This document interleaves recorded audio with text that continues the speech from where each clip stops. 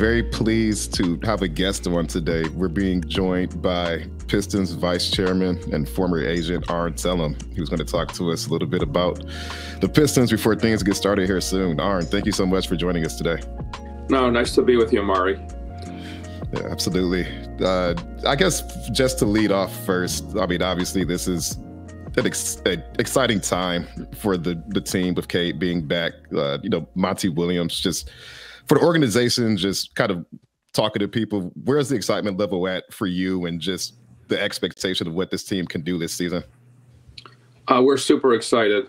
Uh, this may be the most excited I've been since I've gotten here. Uh, I've been here now eight years, but um, one, we have a new coach in Monty Williams, um, and I think um, we got the right coach um, at the right time for this team, um, and I think the best possible coach um, um, for this team. So, and kudos to Tom Gores and Troy Weaver um, for making this all happen, especially Tom, who um, would not take no for an answer, uh, and really uh, uh, encouraged us to get the very best for us, for the for the Pistons, and for this, you know, for the for our fans and for the city. Um, two, uh, Cade is back. So that's a huge difference. Uh, and we're very excited to see him. He's healthy. He's re- he had a great summer playing on USA basketball. Um, he really looks good. Uh, we're excited to see him play. Uh, and I think that's going to be a huge difference. Um, the, the, continued development of Jaden Ivey and Jalen Duren. They both had great rookie seasons. I think they're both poised to take a big step this year. And then obviously adding Ausar Thompson, a great young rookie prospect who has shown he's mature beyond his years. Um, a great defensive player. We need help there. He's multi positioned. He's really uh, super athletic. And uh, I think the sky's the limit for him. So we're excited to see him on the court. And then we added some key veterans. We didn't make many major moves, but we added some key veterans. That was important. Um, Joe Harris brings, he's a great player, um, uh, a solid, you know, veteran, which we need. We need some veterans on this team. And he provides something that you know we you know we we continue to need is shooting. Uh, he's a great shooter, one of the premier three-point shooters. I think that's going to be really important. He knows how to play I think he's already had a positive impact in the locker room and as far as as, as we try to build culture. Um, Monte Morris, um, another good veteran, um, which hopefully will help Cade and give him some relief. Um, and the nice thing about him, he has Michigan roots from Flint, and, uh, and we know so we know he's a tough, competitive kid. Um, and uh, I think he also will provide some veteran uh, leadership that we need uh, and experience. Uh, so I think that th- those are all positive. And then I think it's also going to be interesting. I think this is the deepest team and uh, that we've had since I've been here, which is interesting because it's going to be very competitive. And I think competition also uh, pushes players to be the best they can be. Uh, and another thing I would like to add is I think Monty has a terrific staff. Uh, as, and we love Monty Williams, but I think one of his strengths is uh, beyond his, you know, the, to me, the most impressive thing about Monty when we talked to him was his, you know, I always heard about his character and um, leadership and um, just his, you know, smarts and the way he can communicate um, and really um, develop young players uh, but credit to him for you know having a very good staff um, that he empowers, and um, and I think that's also important. They do a lot of teaching, and uh, I think it's been so. I think we've had a good summer of working with the players, and I'm really optimistic about this season. Um, you know, we have hope. That's the key here, um, and hope is the lifeblood of a professional sports team, and you know, I know it's, um, you know, when you go through this, Troy calls it a restoring process. Um, you know, these things typically take um, four to five years uh, when you start fresh, like we did. Uh, and there's so much that depends on the draft because really that's, you know, we have to build through the draft. That's the, the main way. You got to develop your core of talent. Uh, and uh, I think now we have that young core. We have a good young core. It's going to be exciting to see where they go. So to, I know it was a long answer, but uh, in, in short, we're very excited about this season for a lot of reasons, starting with the coach and our young core of players and the veterans we've added.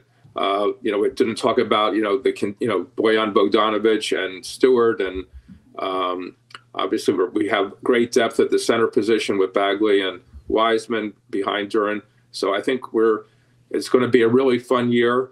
You know, I, I make a comparison. I love the Lions, and I love where the Lions are this year. I think it's very exciting. Um, I think we're going to be like the Lions last year. I think we're going to show that we're on our way. That's really what I feel. Um, I'm very optimistic. Um, a lot depends on health, as we know, but I'm very optimistic going into the year that we're going to provide excitement. It's going to be really interesting to see where these players go. But I think our the arc of this team now is very positive, and I think in a couple years we're going to be a really, really good um, competitive team for many years to come. Arn, you mentioned the draft with Ausar, Marcus Sasser, but it was a bit quieter of an offseason overall. You mentioned Joe Harris and Monte Morris. What was kind of the priority of the offseason? And do you feel like you fulfilled that priority with kind of the direction you wanted to go this offseason? Uh, most definitely. And I'll tell you why. One is um, from the player standpoint, so, so let's start there because we, you know, we can talk about the coach, which I think was the most important thing, is getting the right coach for the for this team. And I think we exceeded our expectations by getting Monty because uh, we didn't have any when we started this process. We didn't think Monty would be, even be available, and to get him was a huge, huge addition uh, because you need leadership, you need someone at the top, and I think with Monty, we got that for many years to come. Um, two, I think our whole strategy has been to continue to develop this young core. So it started with the draft and getting Ausar Thompson, I think, was very important. Uh, he's a multi position player with great promise, great, great character, highly intelligent, uh, fits the type of player that Troy and Monty want uh, and believe that we need to make up this team. Super competitive, can play multi positions and already and already has a great feel for how to play defense. Very intense defender, can play defend anyone on the court pretty much. And I know that was very important to Monty and to Troy. Um, and I think Ausar is going to be one of the top rookies in this league and has a great future ahead of him. So that was important. And then adding some key and Sasser also in, as from the draft. I think you know um, Monty and Troy really loved him and we wanted we we and when Troy you know when we were discussing it the draft I said let's go for it. Let's make the move to go. I supported and, endorsed the move um, to give up the picks the future second round picks to make sure we got him because they believed in him so much. Um, and he's a little guard but he can shoot. He's he's an unbelievable tenacious tenacious defender. Um, and he's going to be a very good player for us. Um, with the with the veterans that we added the key is we wanted to keep cap space. That was our strategy. At some point, we didn't see it. We didn't see it this year, but there may be opportunities next summer and the year after where we could go after that free agent. And we wanted to make sure we had our, you know, our our cap space available to do that. Uh, we just didn't want to make a lateral move or bring someone into a high salary uh, and kill our cap space uh, unless it was that special player. And there weren't really any out there. But we were able to add some very key veterans that filled, you know, some important positions for us. One, Joe Harris. You know, you, you can't have enough shooting and veteran leadership and someone who's just a great team guy. Uh, great brings adds to the contributes to the con- culture. Um, everyone loves Joe, um, and I think he's going to be a great addition for us. Um, I think he was he's he was undervalued uh, because he had had some injuries, but he looks great. I think he's recovered, and I think that will be a really great addition for us.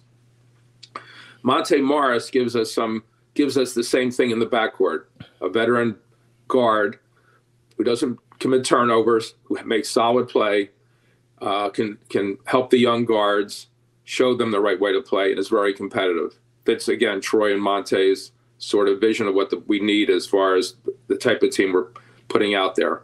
So I think small moves, but very important. Uh, as I said before, the team is going to be we're going to be there's a lot of comp there's more competition on this team for minutes than ever before, which I think is a good thing. And the key thing for us, which I hope everyone appreciates, is that we needed to keep cap space for a potential bigger move next summer, and that we did. And and there are going to be some interesting players available next summer and if and we want to be able to throw our hat into the ring to, to maybe if they're available to compete for them because if this is the young core then we, we once we know we have the young core and we feel good about it and i do and we do then you can go add a significant piece to that team. And i don't believe well i do believe i do believe very strongly that we can attract a, a great free agent who on our timeline, on our timeline, let me say, sort of this similar age, maybe a little bit older, but not too much older, but on our timeline, um, I believe we can attract it because we have that young core. Someone will want because they know we're on the verge with, with the coach we have, with the young core we have, with the front office led by Troy Weaver. I think we have the makings that uh, will be very attractive to a uh, to a to a veteran to come here and uh, be that missing piece for this team. Uh, you mentioned this is the most excited you've been, and of course, you've been here in Detroit for eight years. How much of that excitement? Of course, you have the uh, the coach hired with Monty Williams and all the young players. How much of that excitement is generated just because of what could come as well, having wide open books, and you have you know one of the younger teams in the NBA, probably you know what seven, eight, nine guys on, on, on rookie deals. Is it a joint package, just knowing that things could turn around pretty quickly with the flexibility this team has going forward? Yeah, I mean, look, eh, the hardest thing is, which we all know is patience. The hardest thing for any uh, front office uh, ownership for the fans as patience. Uh, we all want to, you know, win immediately, uh, but that is so hard to do. And our fans have been patient, but I think the fans see that we're headed in the right direction. And with the coach, and that's why I started with the, you know, getting Monty. It showed everyone that we're all in to do this right. We wanted the right coach, we got him.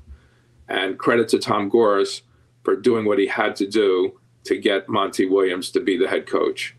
Tom deserves all the credit, in my opinion, for really pushing all of us to make sure we got him um, and not give up, even after he had said no the first time. He was going to sit out the year. Uh, the second thing is, I think everyone understands that, you know, sometimes when you have a draft,